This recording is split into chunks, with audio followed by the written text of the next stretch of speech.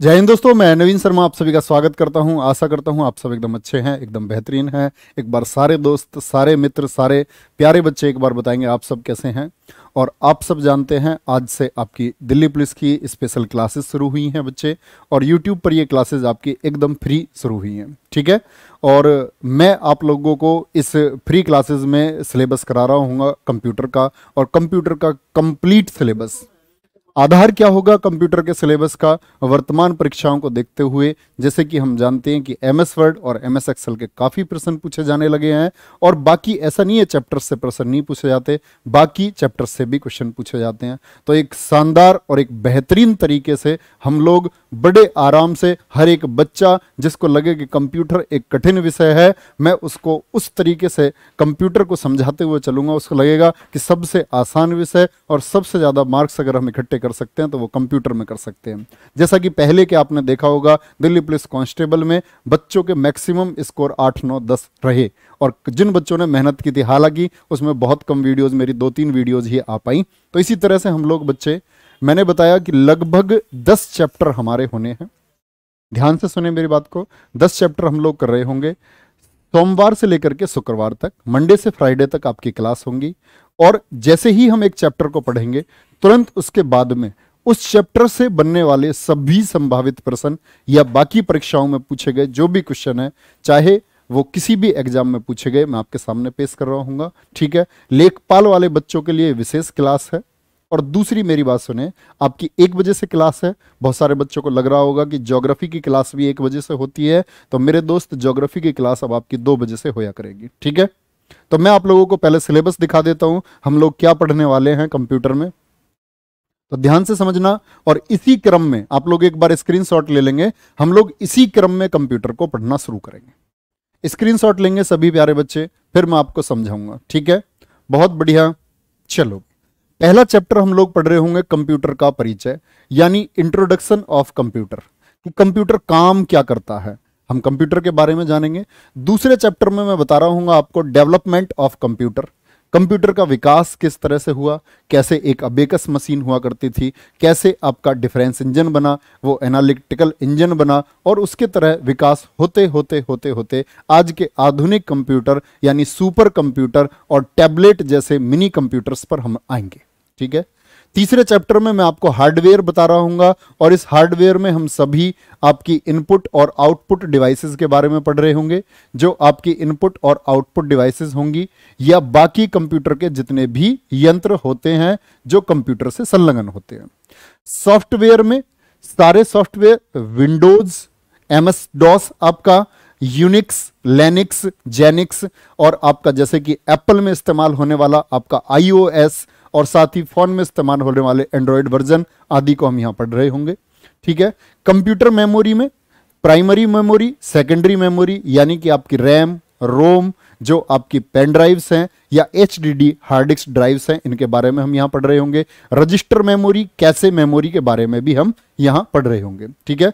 Computer language और number system computer language यानी कि जैसे मैं आपसे अभी हिंदी में बात कर रहा हूँ या आप लोग अंग्रेज़ी बोलते होंगे तो कंप्यूटर हिंदी और अंग्रेज़ी को नहीं समझता। कंप्यूटर समझता binary language, machine language, C language C plus plus Fortran, basic, Java language, इस तरह की भाषाओं को हम पढ़ रहे होंगे आपका किसमें कंप्यूटर लैंग्वेज में। फिर number system, binary, octal, decimal आदि नंबर्स को हम यहाँ पढ़ रहे होंगे और उनका कन्वर्जन भी सीख रहे होंगे। ईमेल के बारे में ईमेल से बहुत क्वेश्चन इस बार दिल्ली पुलिस में पूछे गए। जैसे कि ईमेल में यूज़ होने वाले प्रोटोकॉल्स ठीक है? जैसे कि आपका एफटीपी फ़ाइल ट्रांसफ़र प्रोटोकॉल या आपके बाकी प्रोटोकॉल्स और ईमेल का विकास हम यहाँ पढ़ रहे होंगे।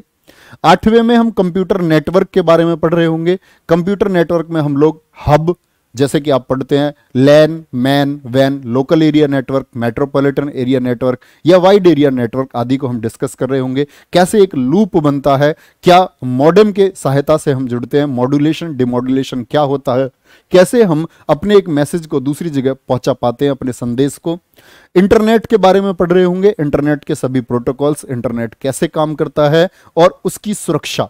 आज के टाइम में आप देखोगे, इंटरनेट सुरक्षा मतलब इंटरनेट का प्रयोग करते समय जो बचाव हमको करने हैं, जैसे कि वायरस से हमको बचना है, यानी कि virus, antivirus, cyber space war, cyber सुरक्षा क्या होती है, हम यहाँ पढ़ रहे होंगे। फिर आएगा आपका माइक्रोसॉफ्ट ऑफ़िस, एमएस ऑफ़िस, और एमएस ऑफ़िस को हम लोग इसके जितने भी ज़रूरी पर्सन बन सकते हैं, इसकी सारी जानकारी, शॉर्टकट कीज जो बहुत महत्वपूर्ण आपके लिए साबित होंगी। ठीक है? फिर हम माइक्रोसॉफ्ट एक्सेल और उसके फॉर्मूला बेस्ड क्वेश्चन जो बच्चों के सिर के दर्द हैं एक। सिर का दर्द होता है जी माइक्रोसॉफ्ट फॉर्मूला जो आपके एक्सेल के फॉर्मूला बेस्ड क्वेश्चन है, हम कैसे हल करेंगे? तो बड़े प्यार से कर रहे होंगे। बिल्कुल आप लोगों को ये चिंता छोड़ देनी है। होगा क्या? बस ज़रूरत होगी तो क्लास से जुड़े रहने की और प्रॉपर अपने नोट्स बनाते रहने की। ठीक है? इतनी बात समझ में आई थम्सअप करेंगे। सिलेबस समझ में आया आप लोगों को। बहुत बढ़िया। किसी भी एग्ज़ाम के लिए बच्चे जहाँ कंप्यूटर आता है ये क्लास उस एग्ज़ाम के लिए एकदम एकदम रामबाण साबित हो रही होगी और फोकस हम करके चल रहे हैं दिल्ली पुलिस पर। Delhi police constable Delhi police head constable ministerial और दिल्ली पुलिस एडब्ल्यूओ टीपीओ के लिए हम इसको फोकस करके चल रहे हैं। साथ ही एप्लीकेशन में ये क्लास चल रही है हमारी लेखपाल के लिए, हमारे एप्लीकेशन में। ठीक है? बहुत छोटी क्लास होगी, सोमवार से शुक्रवार तक बिल्कुल पैनिक होने की आवश्यकता नहीं है। लगभग 40 मिनट या 45 मिनट की क्लास करेंगे। ज़रूरत होगी कि सप्ताह के अंत में जो भी मैं आपको कराऊँगा, वो तैयार करने का एक वादा आप मुझसे करते हैं। फटाफट से थम्सअप करके सारे बच्चे बताएँगे, इतनी बात में किसी को कोई दिक्कत तो नहीं। ठीक है। एक बार बच्चे, मैं सिलेबस बता देता हूँ आपको। दिल्ली पुलिस कांस्टेबल की जो क्लासेस शुरू हुई हैं, सुबह आपकी करंट अफेयर्स की क्लास सोनवीर मलिक सर करा रहे होते हैं, साढ़े पाँच बजे से।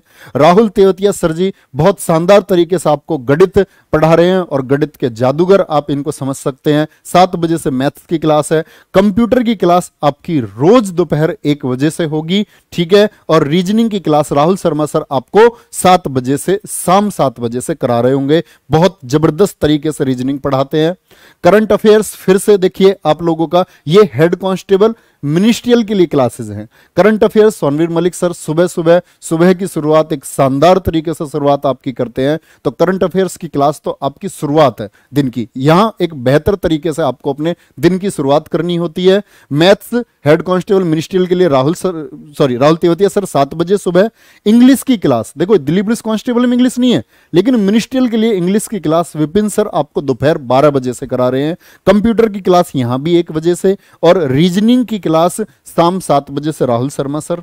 अब आ जाते हैं बच्चे ए ए डब्ल्यू और टीपीओ टीपीओ के लिए दिल्ली पुलिस की जो क्लास होनी है, सुबह करंट अफेयर्स की क्लास, सात बजे मैथ्स की क्लास, स्क्रीनशॉट लेके रखिए आप अपने टाइम टेबल का, और साइंस की क्लास यहाँ आपको धर्मेंद्र सर पढ़ा रहे हैं सुबह आठ बजे से, ठीक है? विशेष तौर से बच्चे, अभी फिजिक्स की क्लास आपकी शुरू हुई है, और जुड़े रहिए, एक अलग तरीके की फिजिक्स आप इनकी पाएँगे, बहुत शानदार तरीके से, भौतिक विज्ञान को ये पढ़ा रहे हैं। कंप्यूटर की क्लास सेम है, तीनों में एक बजे का टाइम है, रीजनिंग का टाइम तीनों में सेम है मैथ्स का टाइम तीनों में सेम है, बस बात बची किसकी? इंग्लिश और फिजिक्स की, ठीक है?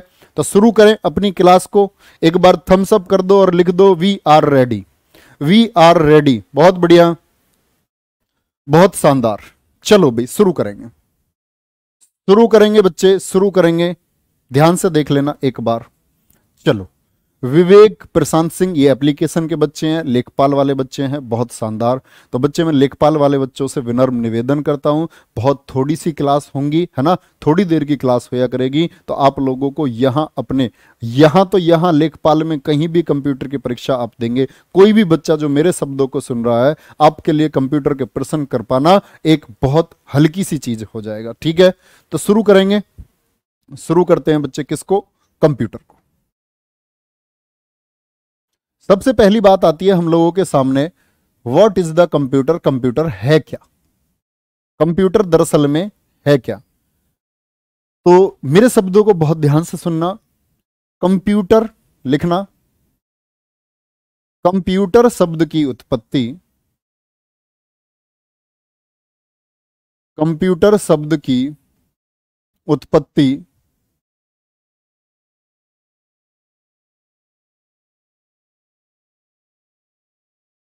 ग्रीक भाषा के शब्द ग्रीक भाषा के शब्द कंप्यूट से हुई है। ग्रीक भाषा के शब्द कंप्यूट से हुई है। अब बात आती है प्रमुख बात की कंप्यूट का क्या अर्थ होता है? तो यहाँ लिखेंगे आप लोग कंप्यूट का अर्थ है कंप्यूट का अर्थ है गणना करना। क्या अर्थ है? कंप्यूट का अर्थ है गणना करना। अर्थात टू कैलकुलेट क्या करना? कैलकुलेशंस करना। क्या बोला मैंने? What is the meaning of computer आप लोग क्या कहेंगे? Meaning of computer is to calculate गणना करना। तो किससे बना है? कंप्यूट का अर्थ है गणना करना। इसीलिए नोट करेंगे, इसलिए हम कंप्यूटर को कंप्यूटर को संगणक कहते हैं। क्या बोलते हैं? संगणक क्यों बोलते हैं? क्योंकि इसका काम है गणना करना। संगणक कहते हैं। आप कहेंगे, भैया जी, कंप्यूटर का काम गणना करना है? कंप्यूटर तो आज हर क्षेत्र में प्रयोग होता है, चाहे वो वायुयान का क्षेत्र हो, चाहे वो दूर संचार का क्षेत्र हो, हर जगह, चाहे वो गेम खेलने के लिए इस्तेमाल हो। तो सिर्फ़ गणना क्यों बोल रहे हैं? गणना हम इसीलिए बोलते हैं, बच्चे, जब शुरुआती दिनों में कंप्यूटर का आविष्कार किन्होंने चार्ल्स बेबेज ने जब कंप्यूटर बनाने का काम किया था तो उस समय ये गणना के लिए बना था। उस समय इसको कैलकुलेशंस के लिए बनाया गया था। शुरुआत में किसके लिए बनाया गया था? कैलकुलेशंस के लिए बनाया गया था। इतनी बात आप लोग नोट कर चुके हैं। आराम से नोट करते रहेंगे। दूसरी बात पर हम लोग आएँगे।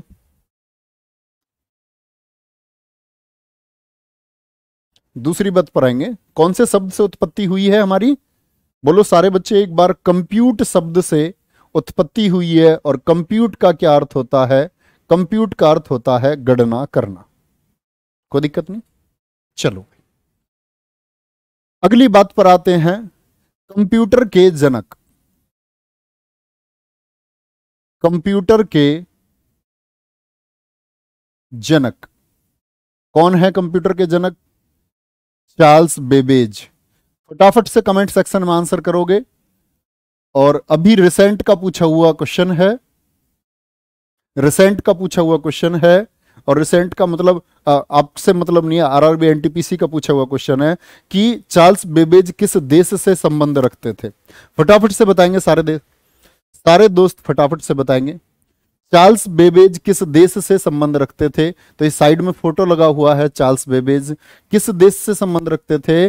इंग्लैंड से संबंध रखते थे। कहाँ से? इंग्लैंड देश के निवासी थे। और याद रख लेना, ये जो इनके वर्ष है, सत्रह में इनका जन्म हुआ है। जन्म कब हुआ था इनका? सत्रह में। और 1871 में क्या हो गई? इनकी मृत्यु हो गई थी। इन्हीं को हम बोलते हैं कंप्यूटर के जनक, यानी father of computer. Father of computer इनको कहा जाता है। अब फादर ऑफ़ कंप्यूटर कहने का कारण क्या है? क्या इन्होंने आज वाला जो ये कंप्यूटर है, ये बनाया था? नहीं। इन्होंने इसको नहीं बनाया था। अगर हम बात करेंगे तो इन्होंने फिर बनाया क्या था? इन्होंने बनाया था भैया। इन्होंने क्या बनाया था? तो लिखना, चार्ल्स बेबेज ने सीबी लिख रहा हूँ मैं, चार्ल्स बेबेज ने डिफरेंस इंजन का आविष्कार किया था। डिफरेंस इंजन का आविष्कार किया था। चार्ल्स बेबेज ने डिफरेंस इंजन का आविष्कार किया था। क्या बोलोगे? Charles Babbage invented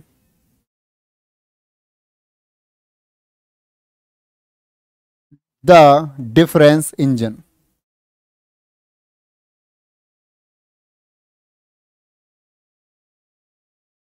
अब ये डिफरेंस इंजन दरअसल में क्या था? तो मैंने बोला कंप्यूटर को हम लोग बोलते थे संगणक। तो संगणक जो है, वो गणना करने के लिए था। तो सीधी सी बात है, आधार था डिफरेंस इंजन तो डिफरेंस इंजन क्या करता होगा? कैलकुलेशंस करता था। लिखना डिफरेंस इंजन का आविष्कार डिफरेंस इंजन का जो इन्वेंशन हुआ, ये जो इन्वेंशन इसका हुआ, ये इन्वेंशन हुआ आपका 1822 में। इन 1822 कब आविष्कार हुआ 1822 में और क्या विशेषता थी? क्या ये दो प्लस दो करता था? दो प्लस दो बराबर चार चार प्लस दो बराबर छह। तो ये तो इंसान कर सकता है बड़े आराम से। तो ये कैसी कैलकुलेशंस के लिए बनाया गया डिफरेंस इंजन को? याद रख लेना, दशमलव के बाद के 20 अंकों तक। आप कर पाओगे क्या? अब सोचो, जैसे मैं एक संख्या लिख देता हूँ, दशमलव के बाद के 20 अंक। ये कैलकुलेशन ह्यूमन माइंड के लिए कर पाना, जैसे हम बोल देते हैं ना, मुँह जुबानी कर पाना बहुत मुश्किल है। तो क्या करता था? दशमलव के बाद के 20 अंकों की कैलकुलेशन के लिए था। अंकों की कैलकुलेशन के लिए। गणना के लिए था। इतनी बात में कोई दिक्कत? क्या काम था? दशमलव के बाद के 20 अंकों की, दशमलव के बाद के 20 अंकों की गणना के लिए। चलो भाई, अगली बात पर आएँगे। और कुछ भी बनाया था क्या? चार्ल्स बेबेज के बारे में आप कुछ जानते हैं बच्चे तो आप लिखिए कि कुछ और बनाया था क्या इन्होंने? तो क्या बोलोगे? आप कहेंगे, भैया जी, इन्होंने बनाया था एक एनालिटिकल इंजन। लिखना, सीबी ने 1833 में एनालिटिकल एनालिटिकल इंजन बनाना शुरू किया। मशीनें थी ये, बड़ी मशीनें, जैसा आपके घर में इंजन होता है ना, इंजन समझते हो? चारा काटने के लिए, ट्वेल चलाने के लिए जो इंजन होता है, ऐसे आकार के, उससे भी बड़े आकार की मशीनें थी। 1833 में एनालिटिकल इंजन बनाया। तो ये बाद में बनाया इन्होंने। सीधी सी बात है, कुछ अपग्रेड किया होगा और जब अपग्रेड अपग्रेड इन्होंने किया तो यहाँ ये पहुँच गए एनालिटिकल इंजन में दशमलव के बाद के 50 अंकों की कैलकुलेशन तक। कहाँ तक पहुँच गए? दशमलव के बाद की, दशमलव के बाद की 50 अंक के कैलकुलेशन तक। कोई दिक्कत? कंप्यूटर सभी ने देख रखा है, ऐसा कोई बच्चा नहीं होगा जिसने कंप्यूटर ना देखा हो। ये तो हुई बच्चे छोटी बातें कंप्यूटर के विकास की, जो पांचवी क्लास की बातें हैं।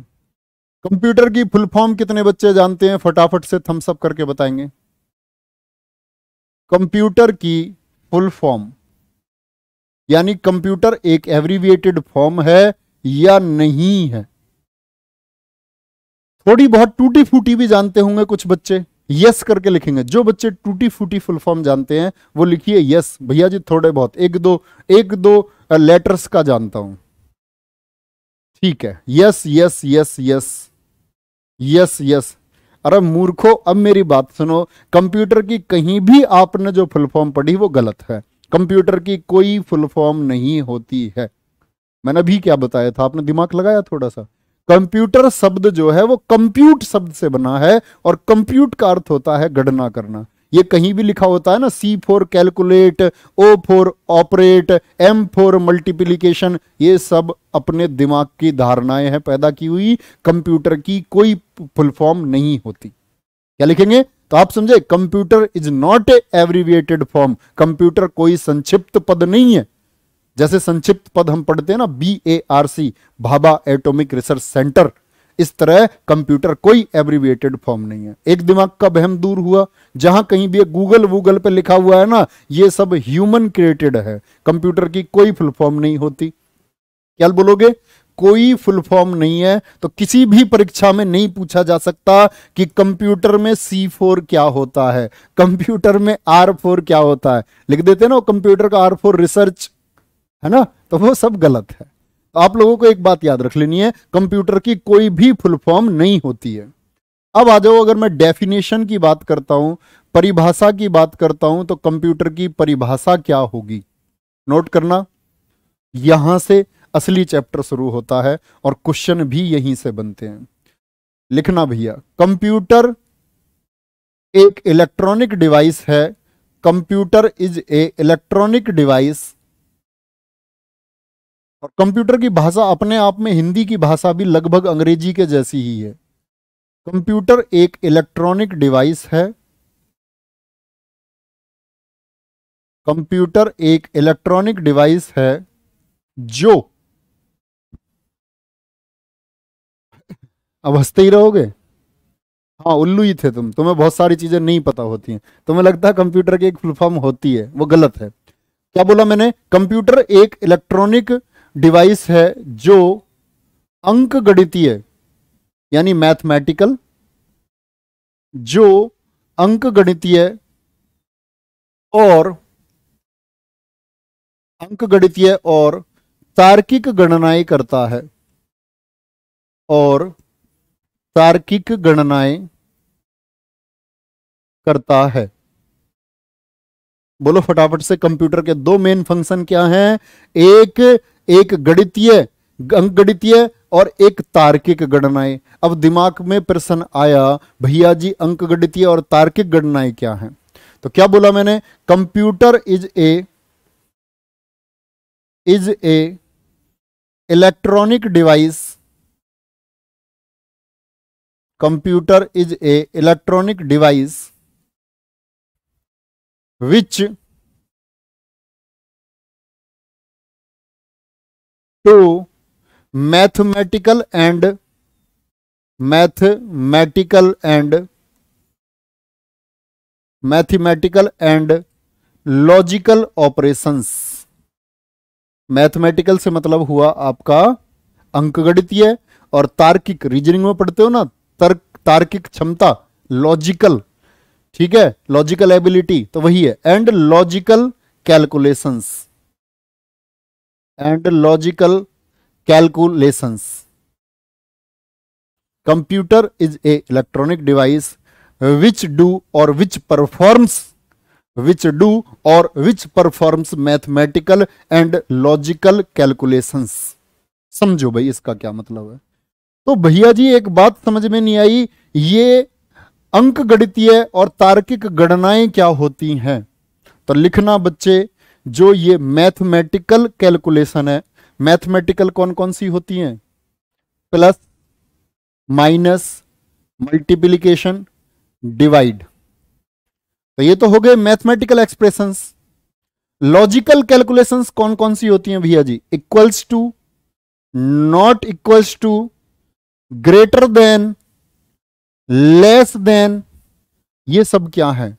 ये सब है लॉजिकल ऑपरेशंस यानी कंप्यूटर प्लस माइनस गुणा भाग equals to not equals to less than और ग्रेटर देन इन सभी पर कार्य करता है। छोटी सी परिभाषा दिमाग में आई। क्या बोला मैंने? कंप्यूटर एक इलेक्ट्रॉनिक डिवाइस है जो अंगणितीय और तार्किक गणनाएँ करता है, जो मैथमेटिकल और लॉजिकल एक्सप्रेशंस को सॉल्व करता है। कोई दिक्कत यहाँ तक की बात में? अब आ जाते हैं बच्चे वापस दूसरी बात पर। अब आ जाओ परीक्षा वाली बात पर। एक क्वेश्चन पूछने जा रहा हूँ मैं आपसे। ध्यान से समझना। मैंने बोला, कंप्यूटर कर सकता है। जवाब देना। कंप्यूटर कर सकता है। सिर्फ़ जर्नल क्वेश्चन नोट मत करना इसको। कंप्यूटर कर सकता है। क्या हल कर सकता है? मैं ये पूछना चाह रहा हूँ। एक मैंने दिया, अंगणितीय क्रियाएँ। यानी कि मैथमेटिकल ऑपरेशंस। एक दिया मैंने लॉजिकल ऑपरेशंस, यानी कि तार्किक गणनाएँ। तो मुझे बताओ, तीसरा ऑप्शन मैंने दिया वन एंड टू, और चौथा ऑप्शन मैंने दे दिया none of the none of the above NOTA. तो क्या चुनेंगे? क्या चुनेंगे? हर रोज इतने अच्छे नोट्स नहीं, हर रोज इससे अच्छे नोट्स बनवाऊँगा। जो बच्चे मुझसे कंप्यूटर पढ़ चुके होंगे, वो इस बात को जानते होंगे कि हम रोज कैसे नोट्स बनवाएँगे। बोलो फटाफट से। चलो। क्या हो जाएगा? तीन वाले सारे ठीक है, एक अभी भी बता रहा है ऑप्शन वन भैया, नींद से जाग और क्लास ले। तो मैथमेटिकल ऑपरेशंस और लॉजिकल ऑपरेशंस दोनों कर सकता है, परीक्षा में बार बार पूछा जाता है। ठीक है? अगली बात पर आ जाओ। दूसरे काम पर आ जाओ कंप्यूटर के पर। इतनी बात में कोई दिक्कत? दो तरह की चीज़ों पर काम करता है, एक मैथमेटिकल ऑपरेशंस यानी कि प्लस माइनस गुणा भाग, और एक आपका logical operations equals to not equals to greater than less than पर कंप्यूटर काम करता है। चलो भाई। दूसरी बात पर आ गए कंप्यूटर कंप्यूटर बहुत ध्यान से सुनना। कंप्यूटर डेटा को, डेटा बोलो या डाटा बोलो, दोनों शब्द ठीक होते हैं। डेटा को डेटा को इंफॉर्मेशन में चेंज करता है। डेटा को इंफॉर्मेशन में परिवर्तित करता है। और ये जो लाइन है ना, ये पहले चैप्टर में सबसे ज़्यादा पूछे जाने वाले क्वेश्चन यहाँ से बनते हैं। परिवर्तित करता है। क्या करता है? डेटा को इंफॉर्मेशन में परिवर्तित करता है। कौन? कंप्यूटर। तो कंप्यूटर क्या कर रहा है? जो डेटा है, वो डेटा को कंप्यूटर ने किसमें बदल दिया? इंफॉर्मेशन में बदल दिया। भैया जी, ये डेटा क्या है? ये इंफॉर्मेशन क्या है? समझना बहुत ध्यान से। डेटा को किसमें बदल दिया? इंफॉर्मेशन में बदल दिया। तो कुछ तो किया होगा ना? या ऐसे ही हवा हवा में बदल दिया होगा? नहीं। डेटा को प्रोसेस करता है। क्या किया? डेटा को प्रोसेस किया और किसमें? किसमें बदल दिया? इंफॉर्मेशन में बदल दिया। गुरुजी, लेखपाल वाले बच्चे ये क्लास ले या पीडीएफ पढ़े? बट आपकी मर्ज़ी है। आपके लिए क्लास अवेलेबल है है ना? तो आप अगर पीडीएफ से पढ़कर समझ पाने में सक्षम है तो बिल्कुल पीडीएफ पढ़ लीजिए, कोई दिक्कत नहीं है। ऐसा होगा, कंप्यूटर एक ऐसा विषय सुनोगे तो ज़्यादा समझ में आएगा, है ना? डेटा को प्रोसेस करके किसमें इंफॉर्मेशन में बदला जाता है। कोई दिक्कत? अब समझो ये डेटा क्या है। कई बार परीक्षाओं में पूछा गया, कंप्यूटर में प्रयोग होने वाले रॉ फैक्ट्स को क्या बोलते हैं?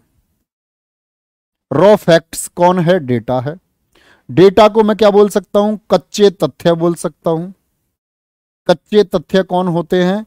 ये होता है डेटा इंफॉर्मेशन क्या है? सूचना। सूचना। हिंदी में बोलेंगे इसको। लेकिन सूचना को मैं क्या बोलूँगा? ये पक्के तथ्य हैं। कैसे तथ्य हैं? पक्के तथ्य हैं। अब एक प्रैक्टिकल पर आ जाते हैं। एक प्रैक्टिकल पर आ जाते हैं और वो प्रैक्टिकल क्या है ध्यान से देखना। आप लोगों ने गूगल इस्तेमाल किया, सभी लोगों ने।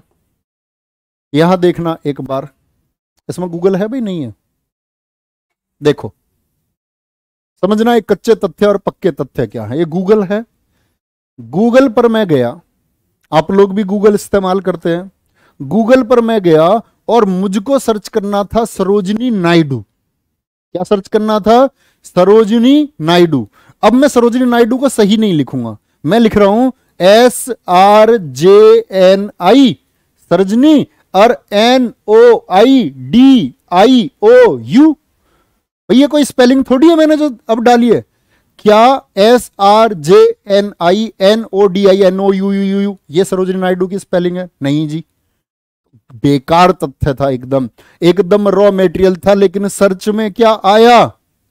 सर्च में क्या आया? सरोजनी नायडू आया तब भी।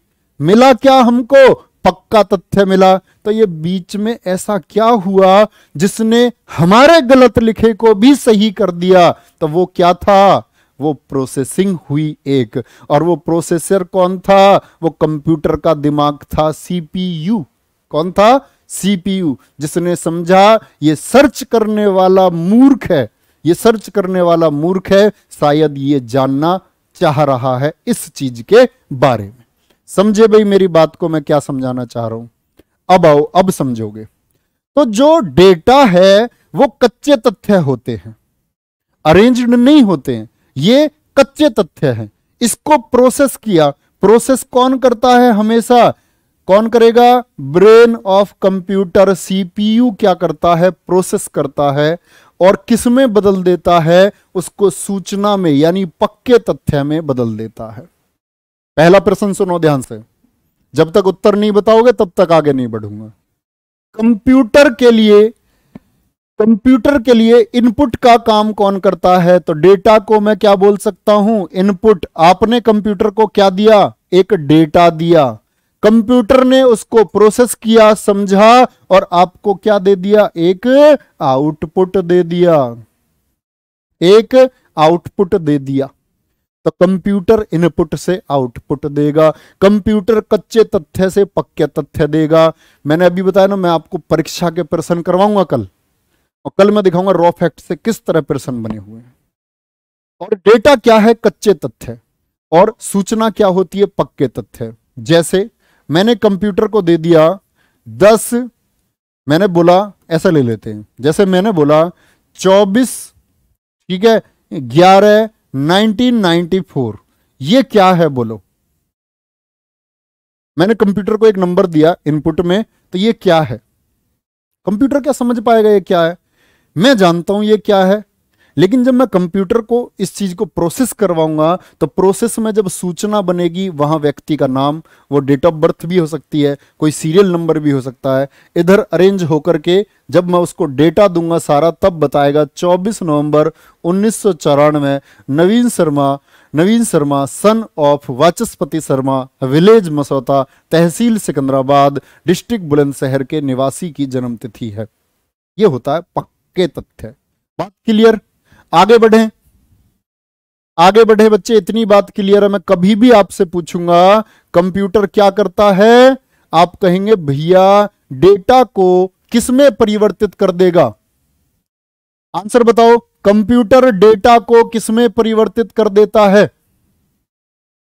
कंप्यूटर डेटा को किसमें परिवर्तित कर देता है? क्या बोलोगे? कंप्यूटर डेटा को सूचना में इंफॉर्मेशन में परिवर्तित कर देता है। आ जाओ भाई अगली बात पर। अब ये कुछ हुआ है। लिखना, कंप्यूटर द्वारा कंप्यूटर द्वारा डेटा को डेटा को सूचना में परिवर्तित करना। क्या किया इसने? चेंज किया डेटा को सूचना में। कंप्यूटर द्वारा डेटा को सूचना में परिवर्तित करना ईडीपी कहलाता है।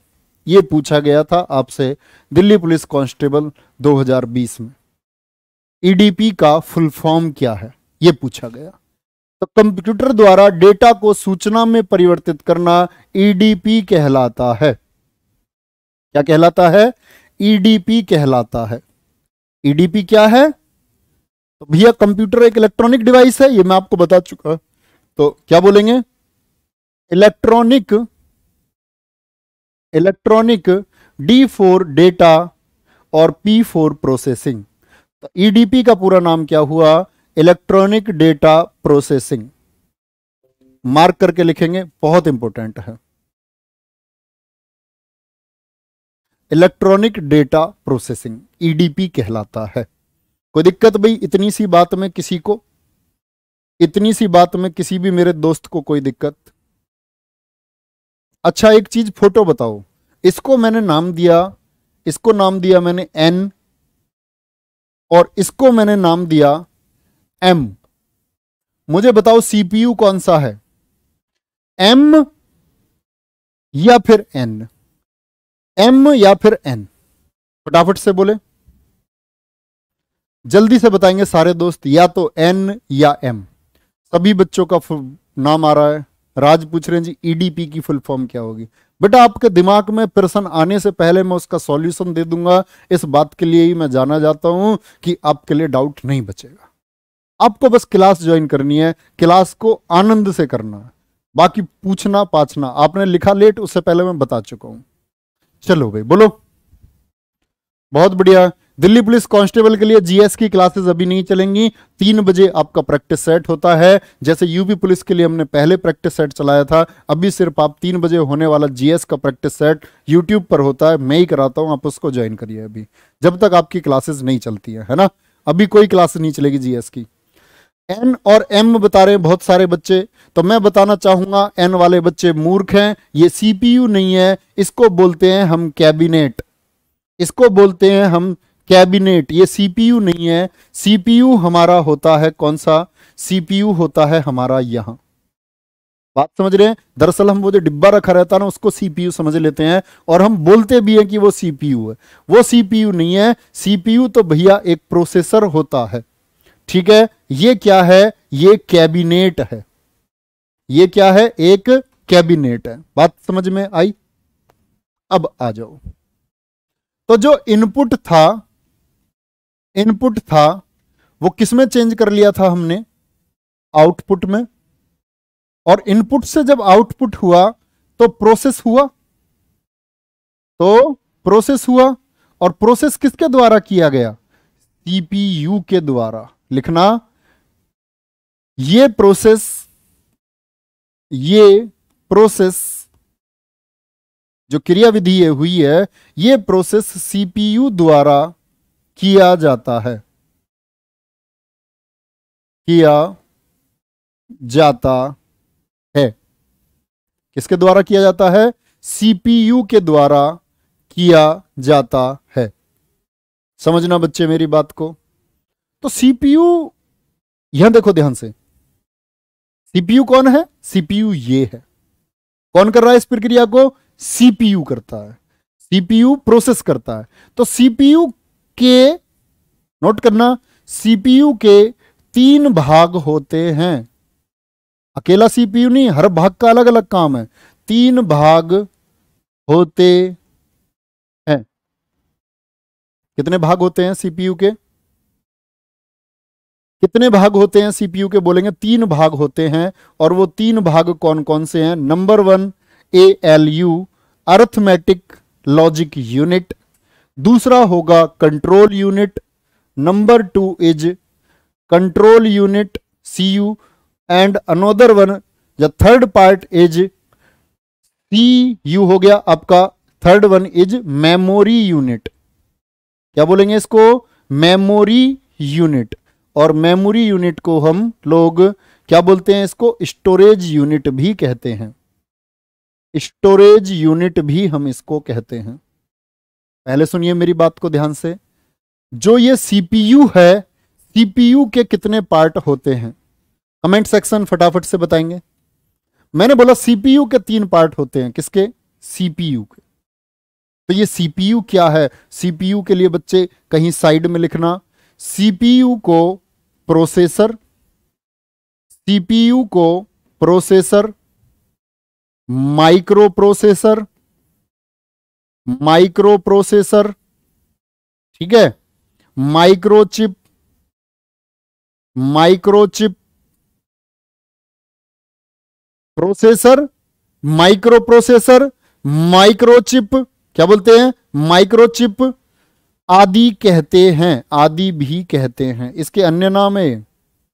कहीं भी कंप्यूटर में मैं आपको नाम लूँगा प्रोसेसर तो आप क्या कहेंगे? भैया जी, सीपीयू को ही प्रोसेसर माइक्रो प्रोसेसर या माइक्रोचिप के नाम से जाना जाता है। दिखता कैसा है? मैंने आपको बताया था, एम आकृति एम आकृति सीपीयू है। कोई दिक्कत इतनी बात में? अब हमको समझना है, सीपीयू एएलयू सीयू और मेमोरी यूनिट इनके क्या काम है? इनके क्या काम है? समझना भाई। पहले आ जाओ सीपीयू जो सीपीयू है, मैंने बताया एक चिप हो गई, और सीपीयू में क्या कौन कौन से तीन पार्ट मैंने बताए? एक हो गया A L U arithmetic logic unit एक हो गया आपका कंट्रोल यूनिट और एक हो गया आपका मेमोरी यूनिट, जिसको मैंने अभी स्टोरेज यूनिट भी कहा एम यू भी बोल सकते हैं। ये किसके पार्ट हैं तीनों? ये तीनों पार्ट हैं आपके सीपीयू के। किसके पार्ट है तीनों? सीपीयू के पार्ट हैं। बहुत बढ़िया। बहुत अच्छा कमेंट लिखा है। डीवी गेमर ने कंप्यूटर में जो भी होता है, जो भी प्रोसेसिंग होती है, वो सीपीयू के अंदर होती है। बहुत बढ़िया। बच्चे, आविष्कारक मैं सबके बताऊँगा आप लोगों को। घबराना नहीं है। यहाँ देखो ध्यान से। अभी हम समझ रहे हैं सीपीयू का पूरा नाम क्या होगा। सीपीयू का पूरा नाम क्या होगा? तो आप बोलोगे सेंट्रल नोट करो central processing unit central processing unit A L U arithmetic अभी हमको इनके फ़ंक्शन सीखने हैं सभी के। फुल फॉर्म आप नोट करते चलिए। Arithmetic logic unit C U four control unit control unit और मेमोरी यूनिट को मैंने आपको भी बता ही दिया कि मेमोरी यूनिट को क्या बोलते हैं हम लोग? स्टोरेज यूनिट भी कहते हैं। आ जाओ भाई। सीपीयू को याद रख लेना। इसी को ही कंप्यूटर का मस्तिष्क। इसको ही हम लोग कंप्यूटर का मस्तिष्क, यानी कि ब्रेन मस्तिष्क ब्रेन, हृदय, हार्ट, दिमाग आदि कहते हैं। क्योंकि प्रोसेस करने का काम यही कर रहा है। आपके आपके शरीर में कौन प्रोसेस करता है? सब कुछ मस्तिष्क हमारा, सब कुछ माइंड कंट्रोल करता है, ठीक है? अर्थमेटिक लॉजिक यूनिट क्या करेगा? समझो भैया। अर्थमेटिक लॉजिक यूनिट क्या करेगा? जो पार्ट है सीपीयू का। लिखना, यह है गणितीय क्रियाएँ। गणितीय और तार्किक। अभी समझाया था मैंने। तार्किक क्रियाएँ करता है। तो अभी तक तो बच्चे हम जानते थे। भैया जी, आप तो बता रहे थे कि गणितीय और तार्किक क्रियाएँ कंप्यूटर करता है। तो बच्चे, जब हमने कंप्यूटर को शुरू किया तो कंप्यूटर करता था। अब हम गहन तरीके से, एकदम डीप में जाकर के ये जान पाए कि ये काम कंप्यूटर का कौन सा पार्ट करता है? ए एल यू और गणितीय क्रियाएँ कौन सी? प्लस माइनस गुणा भाग। बहुत क्वेश्चन बनता है। कंप्यूटर का वह कौन सा भाग है जो मैथमेटिकल ऑपरेशंस को सॉल्व करता है या गणितीय क्रियाओं को हल करता है या आपका तार्किक गणनाओं को हल करता है? क्या आंसर आएगा? बोलो। क्या आंसर आएगा? सबकी पीडीएफ मिलेगी बच्चे। हर क्लास की पीडीएफ मिलेगी। एप्लीकेशन में आपको पीडीएफ मिल जाएगी। आप जाएँगे ना वहाँ दिल्ली पुलिस कांस्टेबल वाले या आपका एडब्ल्यू वाले या हेड कांस्टेबल मिनिस्ट्रियल वाले सेक्शन में आप जाओगे एप्लीकेशन में। जिन बच्चों ने एप्लीकेशन को डाउनलोड नहीं किया डाउनलोड कर लो। आप लोगों को इसकी पीडीएफ वहाँ मिलेगी। ठीक है? यह गणितीय और तार्किक क्रियाएँ करता है। ठीक है? कंट्रोल कौन करता है? ए एल यू अब बात आई सीयू की। कंट्रोल यूनिट क्या करेगी? अब मैंने बोला था इनपुट से आउटपुट बना, प्रोसेस हुआ तो उसके मध्य जो भी जो भी क्रियाएँ हुई, इनपुट से आउटपुट के मध्य सिग्नल गया, सिग्नल आया। तो लिखो, कंट्रोल यूनिट, यह है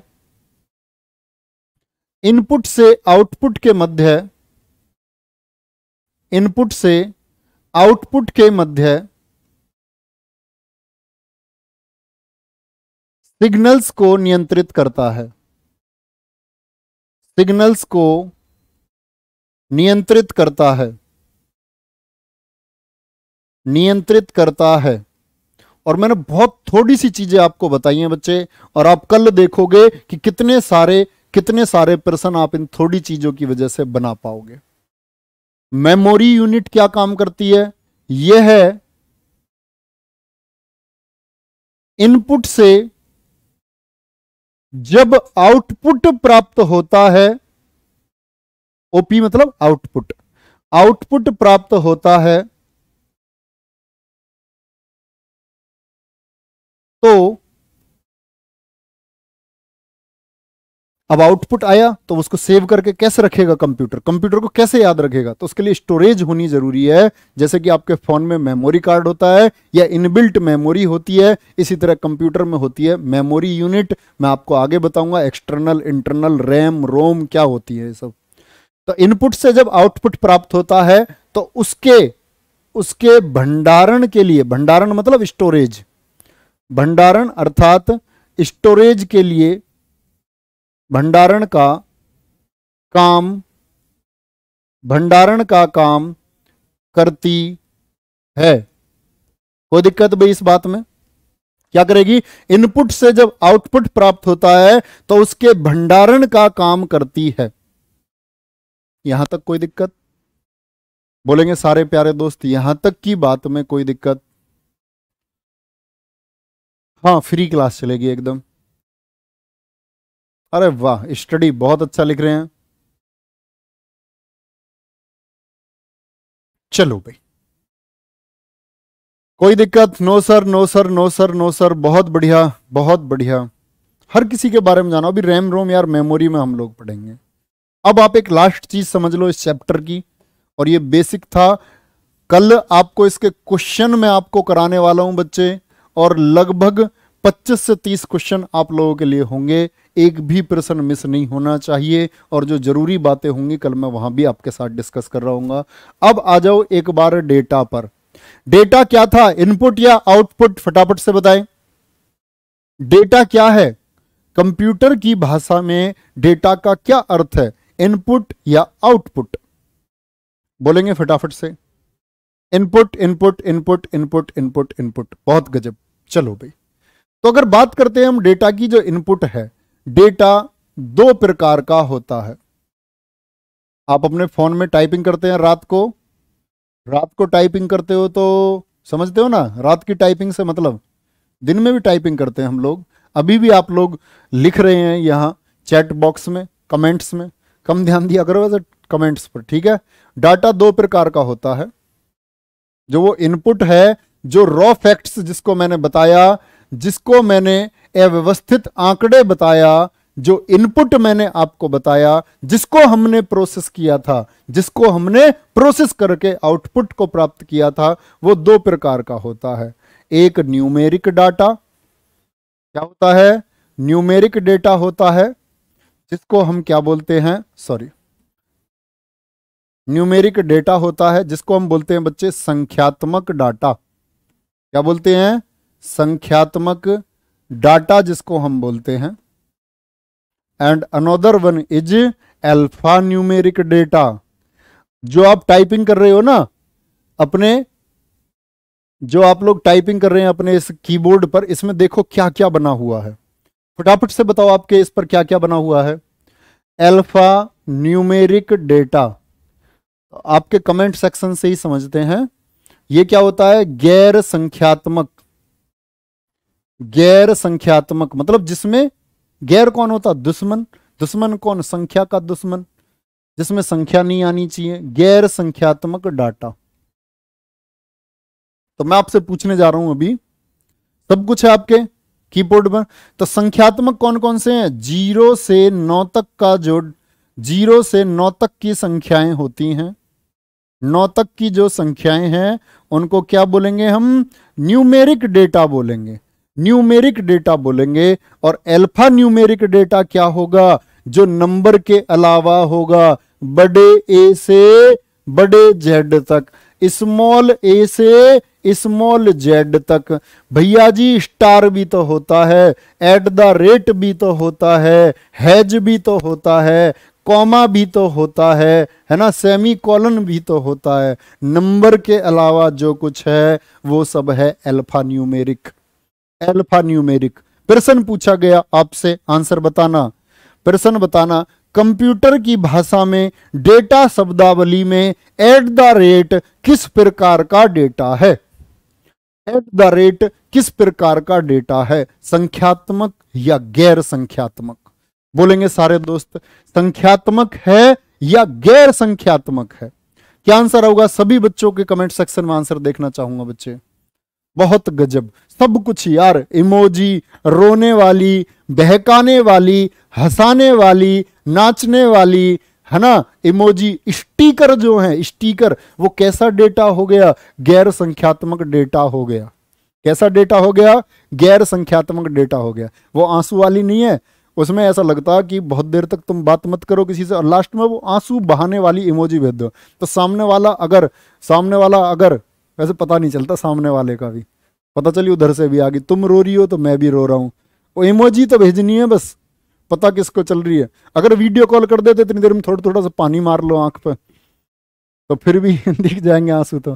तो डाटा कितने प्रकार का होता है? Numeric data, alpha numeric data. Numeric में संख्याएँ आएँगी बच्चे, और आपका गैर संख्यात्मक में क्या आएगा? संख्याओं के अलावा जो कुछ भी होता है। तो बच्चे, मैं उम्मीद करूँगा, ये जो डेटा है ये जो डेटा है, जैसे मैंने सरोजनी नायडू लिख दिया उल्टा सीधा, इस डेटा को, ये जो डेटा था, इस डेटा को प्रोसेस करने का काम सारा हमने सीखा। प्रोसेस बोलू या मैन्यूपुलेट बोलूँ, क्या बोल दूँ? मैन्यूपुलेट किया किसने? वो सीपीयू ने किया। और सीपीयू ने इसको कर करके हमको क्या दे दिया? इन्फो दे दी, यानी कि सूचना हमको दे दी। और सूचना क्या होता है? आपका व्यवस्थित आंकड़े होते हैं। व्यवस्थित आंकड़े होते हैं। ठीक है? तो कल मैं इसके क्वेश्चन लेकर के आऊँगा। कितने संभव? एक प्रश्न नहीं बनता, बहुत सारे प्रश्न। तो उम्मीद करूँगा आप लोग उन प्रश्नों के जवाब देंगे। फिर हम आगे बढ़ेंगे अपना किस पर, कंप्यूटर का विकास कैसे हुआ, कंप्यूटर की पीढ़ियाँ, उनमें सॉफ्टवेयर, हार्डवेयर, वैक्यूम ट्यूब से लेकर के वेरी लार्ज स्केल इंटीग्रेशन और आर्टिफिशियल इंटेलिजेंस आज के वर्तमान रोबोट तक का मैं आपको पढ़ा रहूँगा सेकेंड चैप्टर में। तो उम्मीद करूँगा बच्चे बहुत अच्छे से आप लोगों को क्लास समझ में आई होगी और कमेंट्स करके एक बार ज़रूर बताना आप लोगों का कोई भी सुझाव हो या क्लास आपको कैसी लगी, आप लोगों के पाँच सेकंड का कीमती समय मैं चाहूँगा और बाकी चीज़ें हम बहुत अच्छे से आगे चलते रहेंगे। और एक नारा सुनना चाहूँगा आप लोगों के साथ में, दिल्ली पुलिस फतेह। और दिल्ली पुलिस फतेह की इस मुहिम तक, अंतिम दिन तक जब तक दिल्ली पुलिस का पेपर आपका नहीं हो जाता है, तब तक डटे रहेंगे और एक शानदार शानदार मेहनत हम और आप मिलकर के करते रहेंगे। तो बच्चे, पढ़ते रहिए, आगे बढ़ते रहिए। जय हिंद, जय भारत भारत माता की जय।